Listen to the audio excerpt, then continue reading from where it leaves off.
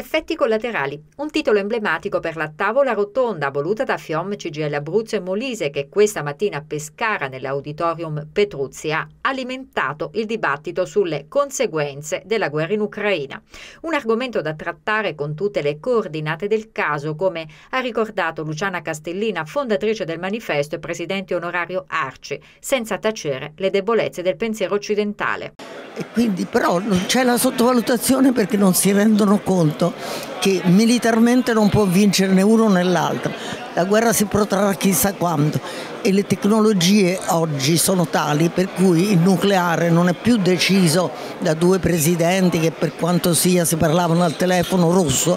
ma può essere sparato da un ragazzo ucraino così come ancora peggio da un foreign fighter di cui è piena l'Ucraina perché ormai il nucleare sta nelle armi a corto raggio, nelle armi tattiche, fra un po' nelle rivoltelle, quindi può essere usato in qualsiasi momento. A quel punto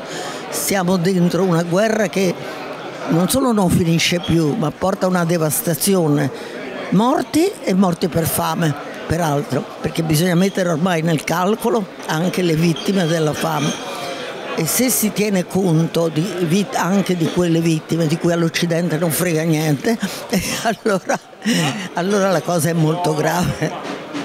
Dalle dinamiche geopolitiche di largo raggio le variabili economiche e sociali più facilmente identificabili e immediate che sollecitano interventi mirati. Di 26.000 persone già rischiano nell'immediato la cassa integrazione, riguarda il sistema delle imprese ovviamente e riguarda il caro energia perché noi dipendiamo nella misura del 40% dal gas russo, il governo italiano pensa di ovviare a questo problema rilanciando la produzione nazionale di idrocarburi e, e poi c'è la questione dei migranti perché eh, il mancato approvvigionamento dei beni primari dell'agricoltura spinge alle migrazioni, non mi riferisco soltanto alla protezione temporanea che stiamo accordando,